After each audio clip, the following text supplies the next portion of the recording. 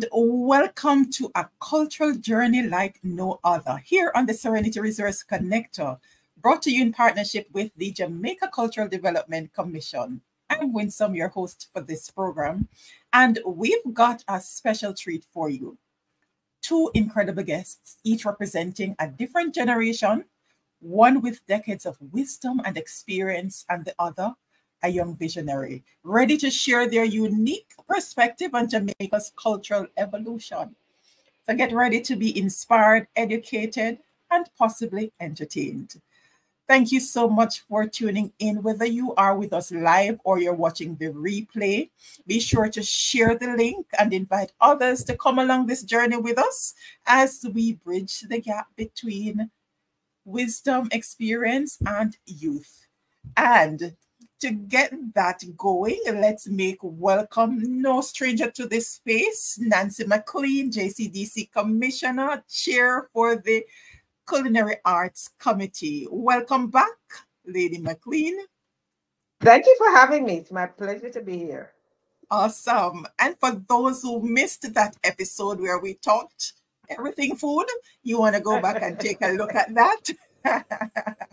where Commissioner McLean shared in her element.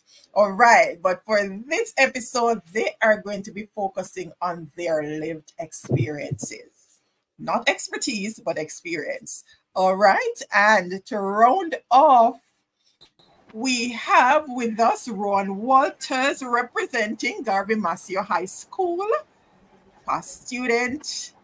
Welcome, Ron. It's great Hello. to have you. Hello, good night. Thank you very much for having me.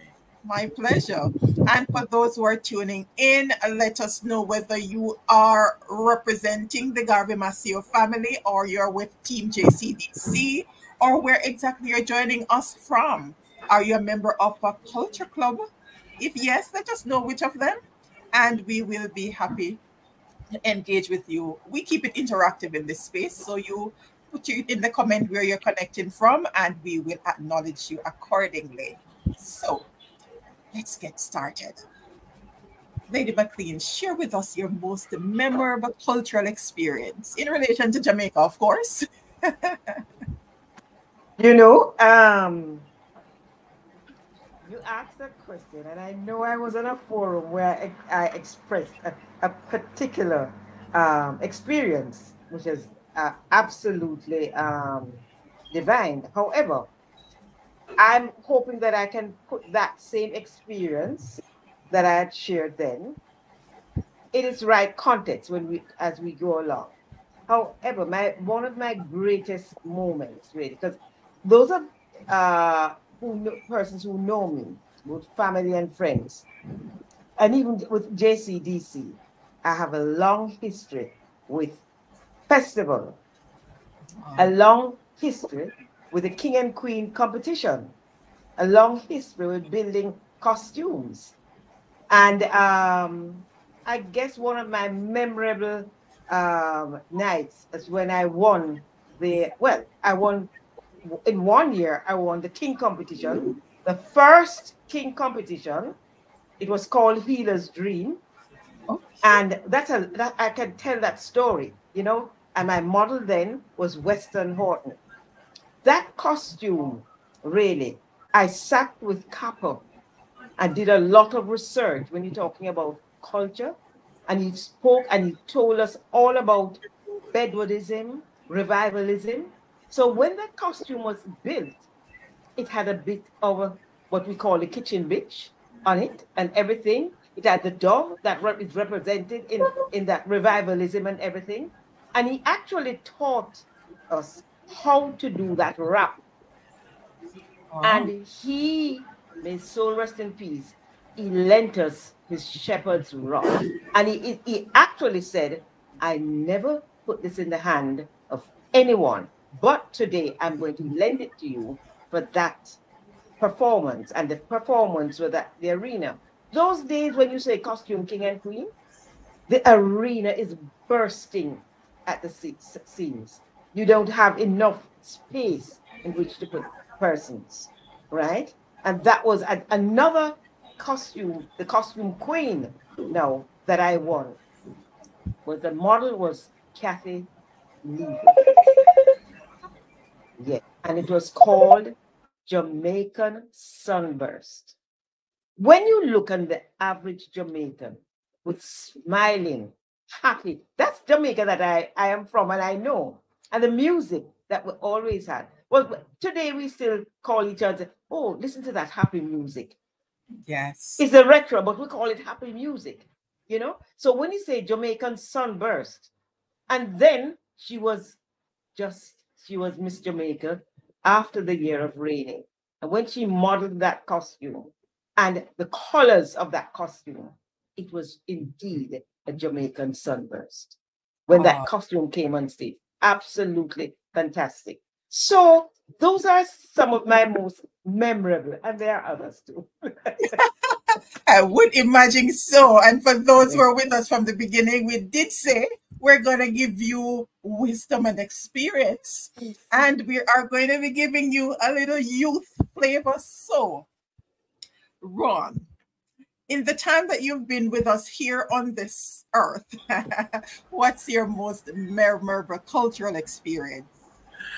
So, in the short time I am here on this earth, I must say my most memorable experience is very recent. I um just actually joined the JCDC this year, and it has been a tremendous um year. Um, my memorable moment will have to be participating in the JCDC Festival of the Performing Arts. Um, we entered dance, music, um, speech, and the drama. We excelled in dance, speech, and the drama. I tell you that Garvey Maceo High School took down over 20 awards from the national um, finals, and that was just a great feeling to know that you're a part of a group of young people who are doing so exceptionally well um, the fact that we went through so much, we cried at rehearsal, we went home late at nights, basically risk our life, and then all of that sacrifice turned out well. It's just a great feeling when I reflected back on myself being on that grand stage at the Little Theatre, the lights shining down on us, and then we can say, Yes, we are now in a great place after all that hard work. That had to be my most memorable experience. Awesome. And the cool Coolmans are in the house. Yes. All right. So you you have, you have your supporters here with you, cheering you on as you share. It's yes, great to see yes, this kind of community in this space. Keep it coming. Right. All right. So Rowan is on dorm. So let's meet him for a little while. All right. So how can we talk about cultural heritage, Jamaica's cultural heritage, without talking about music. That's just a rich part of our heritage. And so, Commissioner, you know, we can't go through all of them in the short time that we have here, but tell us um, how the music, traditional Jamaican music genres have evolved based on what I've seen over the years. Let's get to mento. And I can tell you what I do in my own. When I was at the Pegasus, I made sure that I engaged a mento band every Sunday morning, basically almost every other Sunday morning, let's put it that way, for brunch. Because, you know, I believe in our culture and we cannot lose it. And when you talk about brunch, is a family occasion. When you take the family to, to, to brunch, parents can sit there and explain the rumba box, what, what that man is playing, why is he playing it, why the sound. And so that is a lesson in itself while they're sitting down there with the rest of the family. You know, so the tradition must carry on. And that's when I build costumes, when I go out and I and I still decorate sometimes, I try to to incorporate a little bit of our culture persons who are going away for um I remember one year, uh I think it was a it was a Miss and then he said um a costume. What did I do? I used the bandana, but it was a very tedious thing. And I used the sequins, and you know the plaid and how the bandana is. And I did everything sequin because I love the glitter and I love the shine. And it, it, the contrast of it brought out a beautiful Jamaican costume. And there's so, and this is just for the costume aspect of things. Yeah.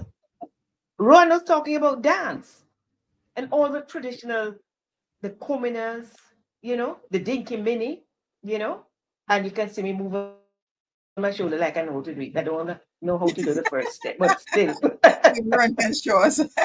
but but but when it comes to dance, ska, but our music, of course, the mento, that foundation, the father of music. And what came out of it? The ska. May soul rest in peace again. Byron Lee took the ska.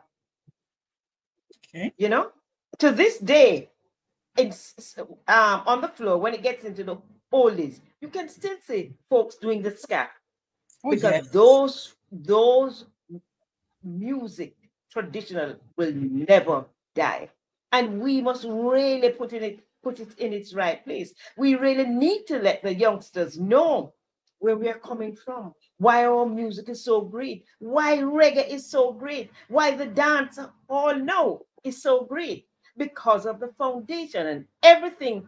When you have a solid foundation that is laid, you cannot go wrong. But what we're some of us were slipping on, we're not passing the right traditions on to the youngsters. They need to know about that, the foundation.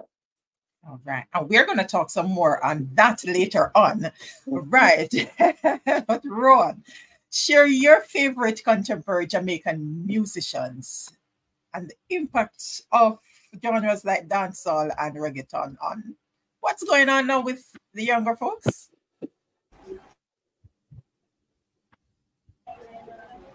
Go ahead, share your favorite contemporary Jamaican musicians. Oh, okay.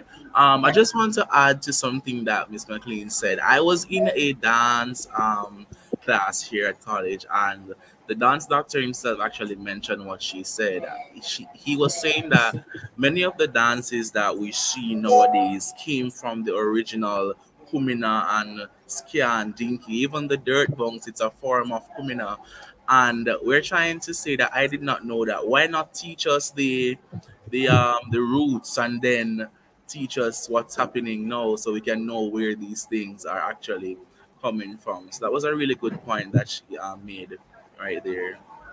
Awesome. Um, all right. So my favorite Jamaican musicians. First, let me say I, I I'm not really into dancehall or reggae. I am a firm believer in Christ. I follow gospel music a lot. I look up to the Levy's heritage. I'm not sure if you guys are aware. Oh yes. Yes, oh, yes. but they are former members of the JCDC as well. Are they still a part of the JCDC? I really look up to them because um, they're a young, they're a group, sorry, of young um, people sharing the gospel in a fun and entertaining way while praising the Lord. And it's really a hard thing to do as youngsters to serve God and evangelize. So I really look up to them for that. And the fact that they're coming out of JCDC, which is my my safe place right now, it's really a good thing. Really a good thing. Amazing. Oh, oh yes, we do know that because um they carry a rich I, I think it's a mix of the whole um Kumina and all those revival and a good diverse mix that they bring energy to yeah. the space. I'm glad how you spin that, Ron, because it is yeah. presumed that because you are representing the younger generation, then you'd be into reggae and all of those. So I love that. Fantastic. Absolutely, absolutely. Amazing. All right, let's Let's get your people in the house. They're cheering you on to remind you that they are here in the virtual space. So don't get nervous. you doing well? Don't worry. All right. So we are going to talk another rich part of Jamaican heritage food. And this is your section, Lady McLean food and the culinary traditions. All right. So we're going to start with you, Lady McLean, talking mm-hmm. about some of the traditional Jamaican dishes you grew up on and how the recipes have changed. wait till the man that you're just hitting the nail on the head now. No, let us get into this. Now, for all our listeners, viewers, whoever it is, it's going to be a mouth watering exercise. Let us go back to my mother. That's the foundation, my mother. Because when my mother, affectionately, affectionately called Mama, when she laid that table and she prepared a meal, let me be honest with you. All you want to do is wait for the next the, the, the, the next day can't come fast enough from breakfast. And let's go into the traditions then. We all know about our ackee and saltfish. No Jamaican home is without that ackee and saltfish. But we're coming from the days when saltfish was not the price it was today. Saltfish, when you cook ackee and saltfish, you saw the saltfish. You understand? and then, of course, you know, that they started, you could use the red herring with the with the, the ackee, you know, and so on. But that is one heavy, and our Johnny cakes and how you made it. There's a thing that a lot of folks do in the country. It's called corn. That's a traditional part of breakfast, you know. It's it's like made like the Johnny cake, but it has cornmeal in it. Flat, crispy, and when you have that with your pear, your ackee and saltfish, a mm. good cup of our traditional Jamaican cocoa tea, cocoa tea, you know, then you're gone to bed. then you can't, you see, every day was a different um day. Like, you know, there was a special, we know that Saturday was soup. Those days I grew up on Saturday, there's no two ways about it. Soup that I would know exactly, would go with my mother, and I know exactly how to purchase. Like if it's beef soup, the soup bone, you know, the good one and what have you, and all what good. But there's a particular soup that I'm seeing shifting away, and that's the good old pepper pot. Yes. You can you, you everywhere sells red pea soup, chicken soup. The even one place I went and I, and I was in I got not into got um skulking cow skin soup. It was delicious. The per I guess why I loved it so much to the person said, just when have it, it's good for your knees. But it was great. I went back the second time, the third time. I'm sorry, ma'am. Our our um pressure cooker is not working. I went back the fourth time, but still can't get. But anyway, so be it. That is. But the pepper pot, our red pea soup, we grew up on that. Then other days now, you had the um stew peas. Every house would have them stew peas and rice with all various things in it. You, want, you know what I say all various things in it? Because I don't want it. Some people don't like that. you know. And of course, all various things, yes. Yes, yes. The fricassee chicken. You can say brown mm. soup chicken, you see there brown today, but a real good fricassee chicken. And you also had curry chicken. And then a lot of folks like like the bony part of it. Let's go back to another thing that I don't see at all. Macaroni done with saltfish. Oh, Macaroni yes. with saltfish was a lovely meal. Yes. But let's go to the sweet part though. You see, the traditional, our good old potato pudding, hella bottom, hella top, hella bottom, and hallelujah, in the middle. In the middle. Mm-hmm. That is what we grew up on. On a Sunday evening, my mother would say, Okay, I did a little total. But you did a, the, the, the potato pudding, the cornmeal pudding, and another thing that was a staple thing in the house, a punch, a punched egg punch, eggnog, stout making it early Sunday morning, not necessarily for Christmas, early Sunday morning, family would have that. But what we have lost and we're losing, and talking this way because I do go out and I lecture and I tell folks about that. We're losing that family unit where we dine together. not eating, I said dine, where we dine together. Even once a month, we should do that. Whereby we socialize with the family, we interact, and the food even tastes better when you're having it. Lots Don't rule out, sorry, oxtail. Oxtail has a history. You see the price of oxtail now?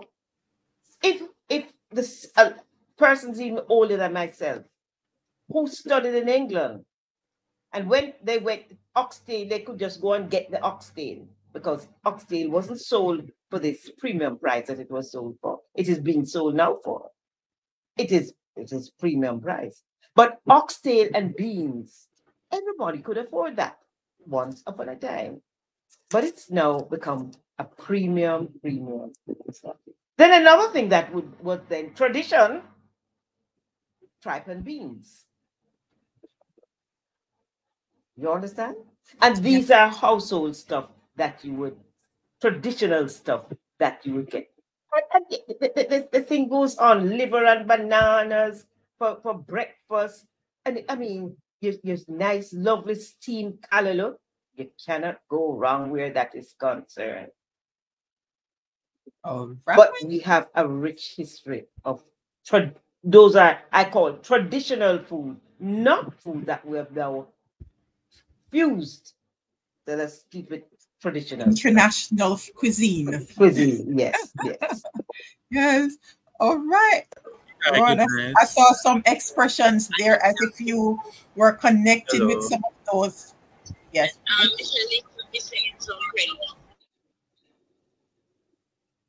Somebody saying something. Ron, are you with us? Yeah. Hello, I wasn't hearing a while ago. Okay, are you with us now? Yes, I'm hearing now. Yeah. Right. I saw your expressions while Lady McLean was sharing, and you were like you were connecting with some of those yes. dishes. Which of the traditional dishes were you connecting on that you can remember Grandma used to make? All right. So I, when she said, when she used the term "hella top, hella butter, man," uh, yes, that one, that one took me because I've heard that term being used before. But then, since I am here, um, studying, I've seen where these traditions are changing, like taking a major toll. Because when we make, um, by the way, I am studying chef de patisserie, which is a pastry chef course. When we make pastries, we don't make pastries the traditional way anymore.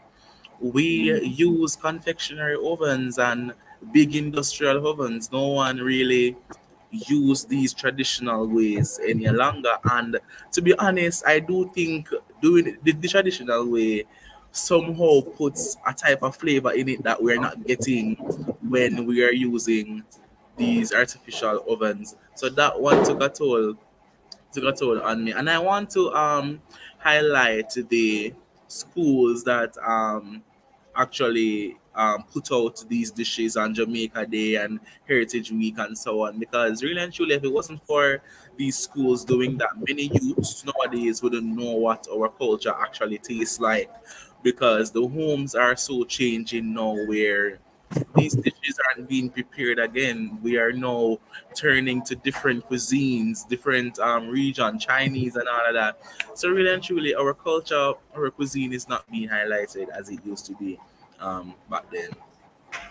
All right. So we are passing the baton on to you. Um, so even though you're learning these new ways in school, that you're going to keep the traditions alive as you go out there and pass it on to the next generation because that's how we're going to preserve it, right? Yes, right. to do that. But may I say something here? Right now, yes. Don't don't forget the tile leaf. I, I thought I didn't want to, but I, I well, just something you just said to me. Yes, mention about the tile leaf. Tile leaf, and we all know it's also called blue draws, right? Blue draws, so, yes. Yeah. So, but look here, what he's saying is so true, you know because all the convection ovens and so forth. Now, how would you do a tile? You know, because that has to be done really, definitely from the the, the, the, the cold pot or the in the earth. You know what I mean? And so that's yes. And, but so a lot is being missed. Even if it's being missed, do you realize that in the the professional kitchens of the respective hotels, when they're going to do certain things, especially if they have a very um, big function and they're going to have um, stations, let's say one is Jamaican, they do prepare the traditional stuff in the authentic way to put out, you know, because that is the only way that you're going to get that taste. Unique taste. Yeah. Yeah. The jerk, with the jerk, they all have jerk pans on the outside too, but they do.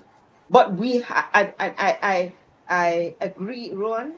If you can do it from where you are, we really need youngsters. I know culinary arts. We reach out in all the competitions that we're doing around the island, but we still need to see more coming forward and doing the things because there are categories in the handbook that one can enter. And that is how the tradition, we were talking about tradition and culture, that's how we're going to. Yes. All right. Let's bring in our live audience. All right. So Kimberly McLean is saying that Jamaican traditional cuisine have certainly shifted and have incorporated other countries' cuisines. And that's not what the tourists want when they come here. They want to taste the real Jamaican. And when our people in the diaspora come home, they want the real deal. Yes, Neville, water and discussion for real. Because when Lady Mac was sharing earlier, I don't know if you saw my face. but really exciting. Right. Cultural celebrations and festivals. We are partnering with JCDC for Culture Corner. So we cannot forget to share about cultural celebrations and festivals here on Culture Corner. So, Commissioner, share one memory of a traditional Jamaican celebration festival that you um, that stands out in your mind. That would be your top memory or two mem two? there was a time that there would be no year that would go by without me uh, organizing a, a festival, an expo. Food festivals, yes. Because I really believe that the only way you can, not the only way, one of the ways, important ways you can learn about food, not only Jamaica here, but the rest of the world. To is doing the festivals. So what I, I would do, I have had a Jamaican festival whereby I showcase the respective parishes all around. I've had a done, done a Caribbean food festival where I've invited the chefs from all the respective um, countries, Trinidad, Ghana, uh, you know, where I know the food, the cuisine is really strong, and brought the chefs to Jamaica. I've had festivals, Italian, Indian, Asian. I've put on all those festivals because it's when you, you come to experience the, the, the multiplicity of tastes that you're going to um, engage in, it, you're learning as well. Because I don't just do make sure that they're presenting dishes, why the dishes are being presented, what is it made up of? What does it mean to that particular country? What does it mean to mean to a particular parish here? You know, because we all know that Portland and the jerk. Because if I'm going to do a, a, a, Jamaican food festival, there are certain things, middle quarters, Portland, the jerk with this shrimp, and there are various things that you must incorporate. And you have to incorporate the fish and all of that, where the escovitch and all that sort of stuff is. But food festivals are very, very important. I know it's heritage. We're heralding heritage coming in um, this a few weeks time, but I know that we ought to see some real Jamaican heritage in terms of festival, in terms of our cuisine, in terms of what we're all about you know? Yes. And so festivals mean a lot to me. And I I, I leave this country many times just to go and visit various food festivals around the world. German cuisine, because I part of my part of my studies was in Germany. So when it comes on to the Oktoberfest and that's on the sausages and all of the you go there, see a lot of chicken and so forth. We have a mini Oktoberfest here in Jamaica every year as well. And that's also a festival, you know? But they and then we have Germantown here in, in, in Jamaica. So we must know how we can pull everything together and incorporate. But yes. we're not doing a lot of festivals right now, but we ought to go back and embark on that. Right. Kimberly's reflecting that um, food festivals at the Pegasus Hotel yearly was the best, showcasing various countries, cuisines, and culture. Yes. So that's it for Timmy's. Yes. now that we have reminisced on those awesome, let's get to Rowan's perspective. What has been your experience with modern Jamaican events? All right, so modern Jamaican events. As I hear Miss McLean speaks, I was like, uh, I want all these things to come back to like mm-hmm. just reenact because now all we are seeing is basically um, parties and all of those things that is not actually highlighting what Jamaica is really, to be honest. Um, my experiences though i love what jcdc do in terms of enhance the um the, our, our Jamaican cuisine. There's also a festival that happens every October. I'm not sure if it's the same thing Miss McLean was saying. It's called Team Jamaica. No, Taste of Jamaica, sorry. And yes, Taste of Jamaica. I am really, really interested in that. I've heard multiple things about it, but never actually getting a chance to participate. I'll be here where um, trainees here at this college participate and win multiple awards. It give um, persons a chance to showcase their talent and compete. And it also expose them, give them opportunities where they can meet persons in high positions and all that and get even a job from being a part of that competition. So yes, it's really a good thing that JCDC is doing. And also the gospel song competition, the gospel star competition, all those things that they are doing. I really look forward for those um, festivals. Yeah.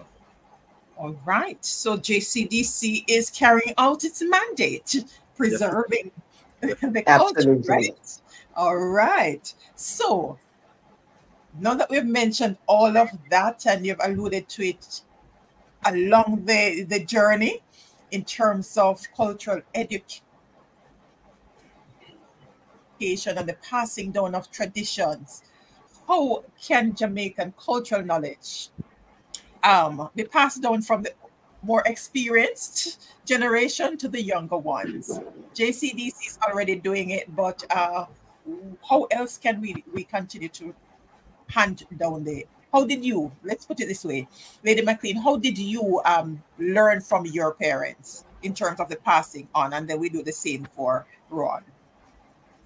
well, they- you know, how did my, my mom, I was in the kitchen um, beside her and um, whatever she was doing, I, I, I learned it there. I had, first of all, my passion was there. And, you know, you can make anyone learn, um, learn, you know, it's how you impart, how you mm-hmm. embrace them close to you to impart.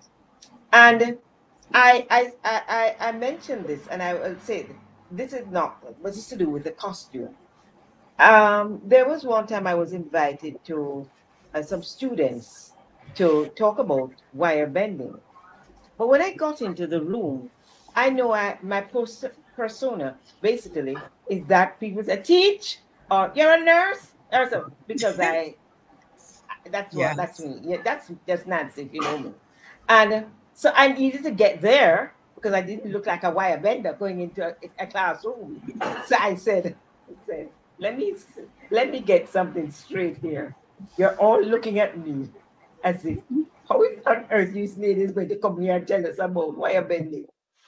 But when I started to talk, And when I told them all the experiences about building costumes and doing the frames, doing the headdresses and so forth, then everybody wanted me now to come and do their project that they had to do. So what I'm saying is how you embrace people.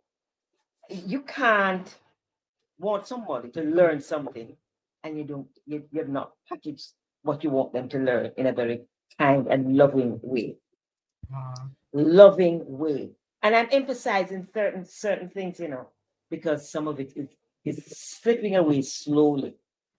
And so even at the schools that doing home economics, if the parents don't know how to prepare certain things, but they can get Mary and they can let Johnny with them in the kitchen and say, let's make our trial and error together. We will mess up the plate, but let's do trial and error of this. Because la- year before last, I think it's year before last, the JCDC cultural division, we had put out um, a calendar.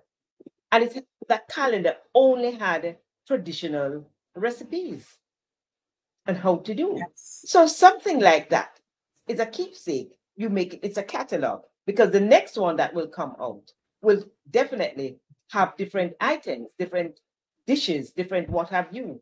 And so you have that and you say, okay, let us try this. Let us, it's trial and error, you know. Life is the whole life is all about trial and error.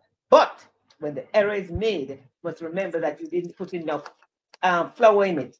That's why it's soggy. Or you put too much flour in it. That's why it's so thick so that the next time you're going to prepare it, you know exactly what you're going to do. So it's holding the hands, and I'm talking to also the, the teachers who do those subject matter and how they encourage their students and how to do these things. Community colleges, community centers, anybody at all. It's all about teaching, coaching. You know, ah, beautiful. Well said. That love, boy. I tell you. Yes. Ron, how about you? How, how did the handing on, passing on of the baton take place in terms of culture? Heritage. Trust me, it is in a, actually a very weird way. You know, in Jamaica, when JPS decides to do its thing and there is no current, that's when are around in a big circle and you hear them say, join the circle, story come to Yes, and that's when they tell us um about back then. They teach us from the roots, come up from coming out to revival to Duppy stories, the myths of Jamaica. Them tell we um all the things about nine nights and so on. When people dead, if we bring them out by the footwear, cover your mirror, all them things, and we learn them in that dark circle, and then we can't sleep for the rest of the night. all that things in our mind. So yes, that's how all that long time um heritage and culture was passed down. In terms of cuisine, I will learn that from my grandmother. I don't think I think everybody everybody learn cooking from not everybody, but most persons will learn um, the culinary of Jamaica from their grandparents. Um, is that they will call if you come help them peel something or help them wash up, and then you will see them doing and you will pull from it.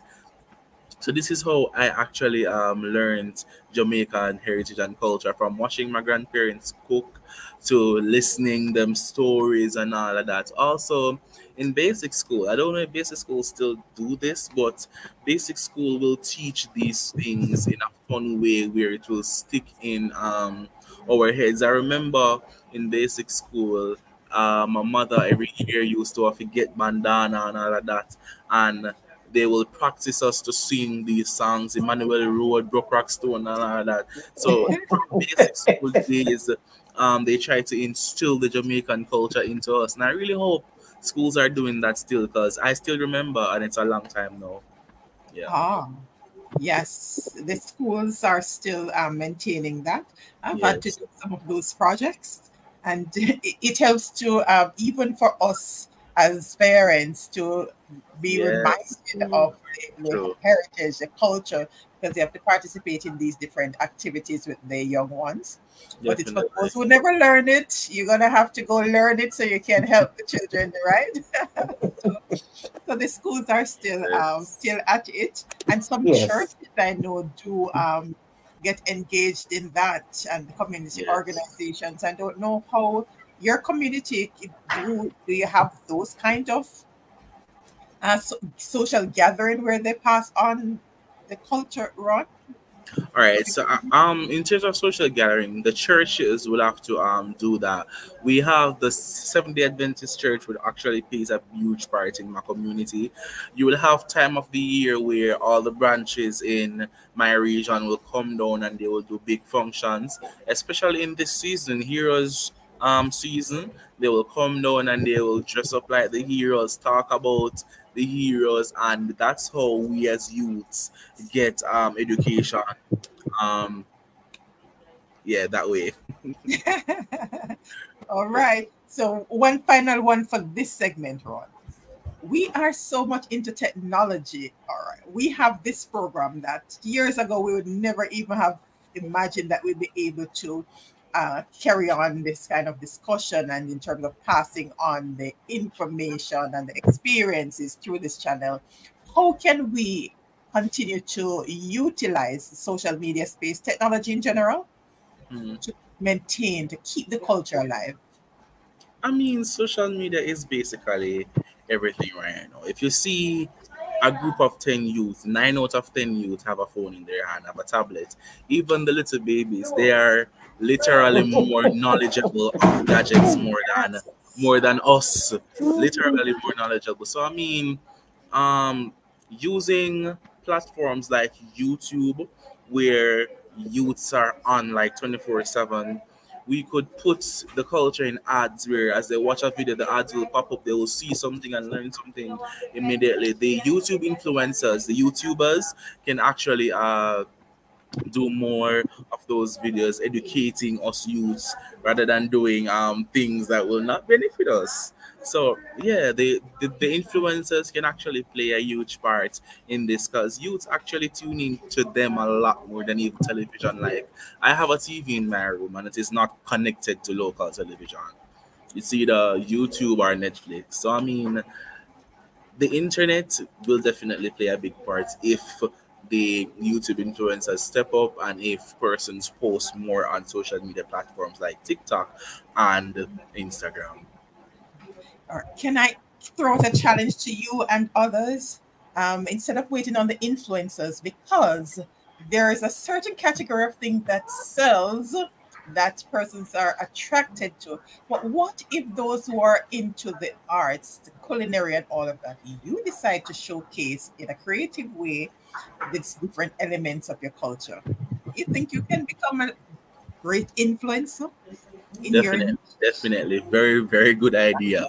Very good idea. I think it's just it has to do with um commitment. Once us youths, once we start something, we expect it to just go off like that. We don't want to um wait and go through the go through with it. We want it to just happen. It just has to do with commitment. You have to just start and be perseverant and hope that things will work out. Yes. Very good idea. Yeah. All right. So you, you can you can start because you have to be passionate about it. That's why you stick to your niche. Because if it's something that you love, like I, I, I enjoy sharing and empowering others. So True. the, t- the time and I made that into a business. right? So I can continue to do that. I get getting paid to do what I enjoy doing and supporting others, different entities like JCDC, the police, the municipal corporation, and other entities. I get to serve them in different ways while serving a wider cross section. Some of these people well, I, I've never ever met and will never meet in my lifetime. So there you go. all right. So others are doing it. So let's let's join it. All right. So of course we have challenges, but there are different initiatives that are ongoing that we are using to preserve the Jamaican culture because we have a lot of infiltration of other cultures. And interestingly, there are other countries who are claiming some of our Jamaicanness as theirs, things that we might not even be proud to embrace as Jamaican. Others are claiming it and loving it. So, what are some of the initiatives that you have seen, projects that you have seen that um, aim to safeguard Jamaican cultural heritage? Lady McLean. what are some of the um the initiatives? In, yeah, in it. Yeah. Well, um, put it this way: we have a lot of um groups now popping up in Jamaica, and uh, dynamic groups um, headed by young young Jamaicans, young Jamaicans who are great in their respective cultural discipline. And I think they're carrying that mantle to um, put it. Look, it. Let's let's take J, um, NDTC for instance. Let us take NDTC and look at the tradition. Look at the history that tradition that J, um, NDTC has coming down, right? And yet, still, when you, um, I remember someone said to me, I think they made they toured the US recently. And they know they've seen NDTC out here, they've seen NDTC singers and so forth. And yet still the individual said to me, Wow, NDTC has some really young dancers that are excellent and so forth. So what it was just saying to me that they thought they were still going to see dancers of yesterday. No. You, you, you understand? And yeah. so succession planning how you incorporate the younger ones into and carried on seamless. It's about doing things seamless. And that's where our culture is concerned. You know, if we can do that and incorporate various things, whereas um, what should I say, disciplines, and make it move from there to there, seamless. That's how you do it. Oh, awesome. All right. Ron, what are some of the initiatives, programs that you've seen? All right. You're hearing? Yes, go ahead. Yeah. All right. The Jamaica National Heritage Trust, the JNTH, I have recently heard about them doing an assignment. I researched and saw on the website. They work well in um, promoting and sustaining Jamaica um, cultural heritage site. They're actually doing a really great job. Also, I think us as young um young persons in the industry can actually we are actually doing well in preserving for our upcoming um generation. Definitely when we gather to meet or gather to practice for a function, the young persons who practice with us actually learn what we are doing. And also when we go to perform, persons see these performances and then it pass on, pass on through that way. Fantastic. And we have we have can't leave out the JCDC competitions that goes year in year out because um, when I first got involved with the Festival Queen Committee, and I was able to see some of these young ladies and the array of talents that they have, performances yes. and those absolutely yes. sing and and um, when they are they're sharing in terms of their knowledge of the culture and um, their representation of um, their parishes, knowing what it is that the, the parish is known for, it helps to keep these alive. I think that is very important and even when you go to i think it's it's more pronounced when you go to the finals and on the night when you have different parishes represented you can learn so much from just the um the different performance pieces. I've learned so much about different parishes just by that. So there's one avenue. And of course as you shared in terms of the food when you see the different elements where um, you're supposed to use cassava as the main ingredient or breadfruit. It actually helps to bring out different elements of the culture, teaches you different things to different ways you can utilize things that breadfruit back then people used to just throw them away. You know, you have a breadfruit selling for 1,000 Jamaican dollars.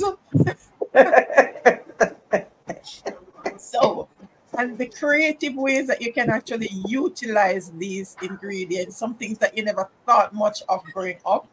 how you can make them nutritious so you can add nutritional values to the meal that you present and the creative ways that you can present them as lady mclean said share it with love so the young ones would be attracted to it and they in turn would want to pass it on to their children and grandchildren so those are some Absolutely. of the areas that i've observed all right and kimberly's agreeing with ron earlier that the youngsters are gadget babies. So to our advantage to spread the Jamaican cuisine and culture is really good. Oh, Definitely. Oh yes, they know so much about those devices.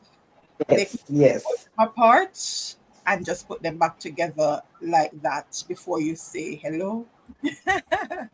and they question things too. For those who are exposed, they have questioned things too. So you have to be prepared and armed with the information to provide them with the guidance that they need or to usher them into the presence of wisdom and experience like Lady McLean. And so that's part of the reason why we're doing this cultural journey so that you can grab a little tidbit if you're not sure or somebody's asking something, just grab a little tidbit and share it with them and say, hey, check out what Lady McLean had to say on this topic. Or Ron has to share his perspective on this topic. And we're looking forward to um, the bright future ahead of, of your own because I hear a lot of enthusiasm and and it was zeal to make a big Absolutely.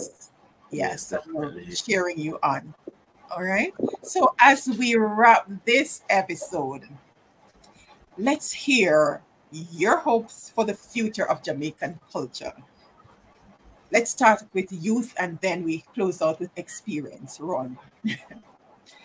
Yes. So you want to hear your hopes for the future of Jamaican culture?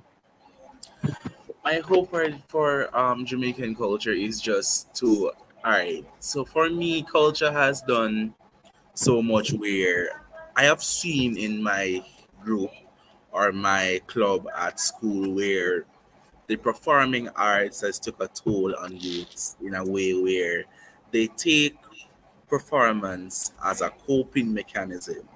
Many youths nowadays turn to drugs or, or smoking, drinking drugs or different alternatives. But I've seen where my um, group members has used the performing arts to overcome stress, to overcome challenges. I don't know how they do it. It's like they're using stress to overcome stress because trust me, the performing arts itself is also a heavy load upon us. So I've seen where culture is actually doing good for youths. And I just wish if more youth will see the positive side of culture and just take it up. That's my hope. I just want you to try. The Bible said, taste of the waters and come see the good work. So I want them to taste culture and actually come see how sweet culture can actually be. That's my hope for yeah, Jamaica. Awesome. And you said something that's very um that's been very uh clear from the different discussions that we've been having this year as we engage the different culture clubs because what a number of the schools are doing that we have engaged is actually using the performing arts as a way of changing the trajectory for some of these students especially those in what's considered volatile communities and i I, and the children are just loving it we had our youngest guests on last month's Culture Corner. I believe they were about eight to nine years old and they Uh-oh. stayed up because they wanted to share and they did their tribute to the great Miss Lou. And um, they were just so, and they said that it has helped to build their confidence. And we've been hearing that a lot from the schools. It helps them. And um, as you said, in terms of coping mechanism, what Definitely, they say helps, yes. help them to tap into a side of them that helps them to um, perform better in other subject areas. So that's that's beautiful that you share that. All right, Lady Mac, come in with the wisdom and experience. What's your hope for the future of Jamaican culture? My hope for the future.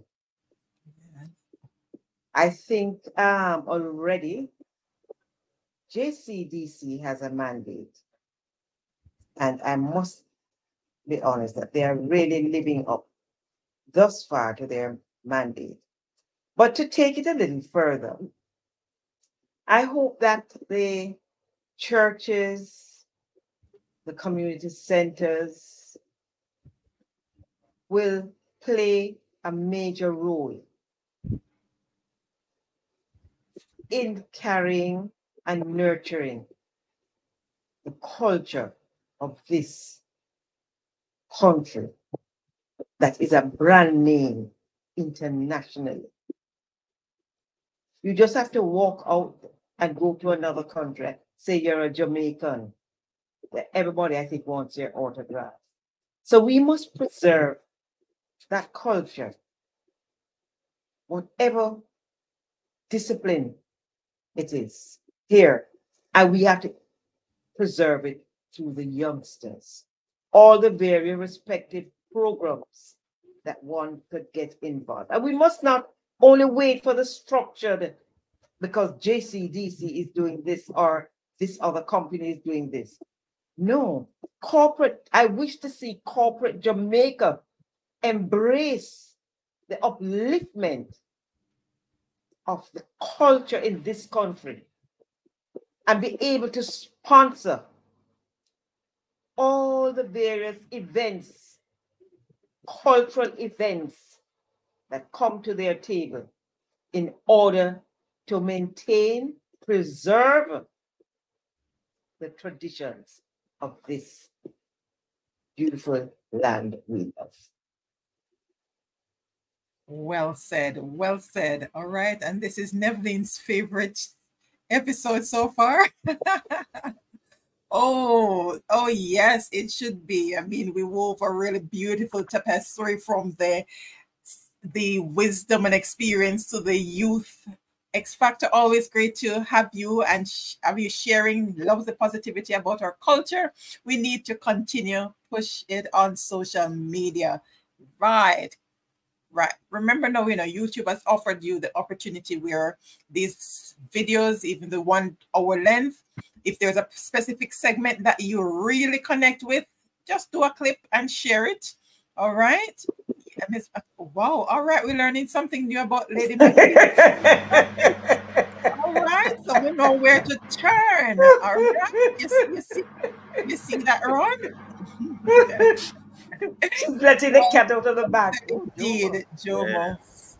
All right. And let me thank Chef underscore boy for subscribing. And for those who are connected who have not yet subscribed to the channel, this is one way of helping to promote the culture. What we share here, subscribe to the channel, like, comment, and continue to share so others can learn about this rich culture.